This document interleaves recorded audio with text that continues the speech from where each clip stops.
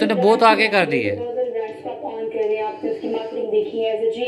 और आपने उसकी मैनेजमेंट देखी है कोविड में किस हद तक डैमेज हुआ है किस हद तक वो जो गैप है एफिशिएंसी है उसे कैसे फिल किया जा सकता है उसमें ये मैडम तो सबसे पहले आपको बताऊँ, कोरोना के अंदर जो भी डैमेज हुआ है ना सबसे ज़्यादा है हॉस्पिटैलिटी इंडस्ट्री जो है उसने सर्वाइव किया। है यस यस उसमें ये है कि आपके जब ये पहली आई थी लेयर उसके बाद दोबारा जब रेस्टोरेंट ओपन हुआ है तो फिफ्टी परसेंट ऐसे रेस्टोरेंट है जो दोबारा ओपन ही नहीं हुए सर्वाइव ही नहीं कर सके।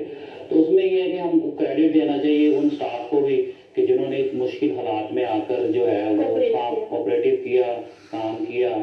और इसी तरीके से मैंने काफ़ी दफ़ा आपके प्लेटफॉर्म से ये आवाज़ उठाऊँगा कि जैसे आपने भी सोशल मार्केटिंग की बात की है तो ये जो हॉस्पिटैलिटी की जॉब है ना ये जब से ये सोशल अपना आया मीडिया तो उसमें ये हुआ है कि इससे जो इनकी जॉब है ना काफ़ी टफ हो गई है। अच्छा। क्योंकि छोटी छोटी जो होती हैं चीज़ें जो छोटा छोटा उनका जो होती हैं मिस्टेक होती हैं उनको इस तरह हाईलाइट किया जा, जाता है जो कि नहीं किया जाना चाहिए। अच्छा। जैसे फॉर एग्ज़ाम्पल अगर आपके अभी मैंने देखा कि ये जो फोबिस के पेज हैं आजकल फेसबुक पे आते हैं तो उसमें ये होता है कि अभी कोई किसी ने छोटी सी मिस्टेक की है कि आइसक्रीम में से बाहर निकल आया तो आप लोग जो है वो फौरी तौर पर उसकी पिक्चर बनाते हैं। मैं मैं बात बताऊँ मैं आपकी बात करता इसलिए कहने को बिकॉज़ यहाँ पर ऐड ऑन करना बहुत ज़्यादा ज़रूरी है।